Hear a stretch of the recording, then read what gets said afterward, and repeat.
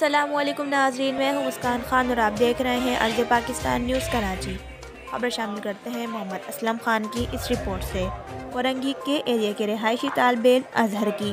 डकैतों के हाथों से बेरहमी से कत्ल का वाक़ गुजशत रोज़ पेश आया।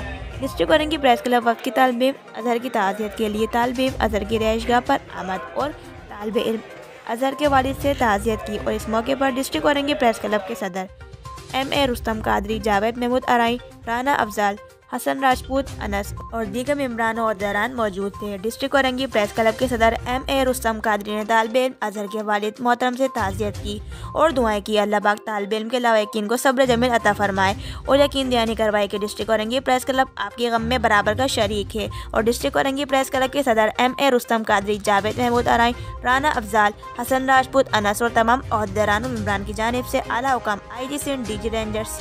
Karachi SSP को रंगी से मुतालबा कर दिया। तालब अजहर डकैती मजामत पर कतल कर दिया गया है। अफसोसनाक है, कानून नाफिज कर वाले इदारों पर सवाली निशान है। आवाम को तहफ़ फराम करने में अपना किरदार अदा करें। मजीद खबरों और अपडेट्स के लिए देखते रहिए अर्द पाकिस्तान न्यूज़ कराची।